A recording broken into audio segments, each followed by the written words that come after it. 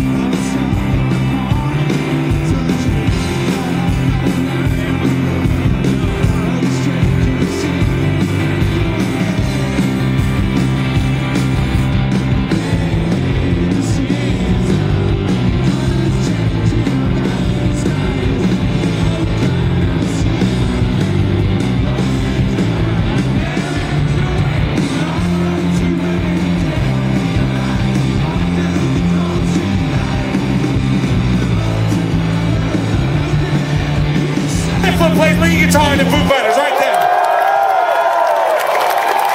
Break him off for some fucking serious shit, dude. Give him some fucking shit.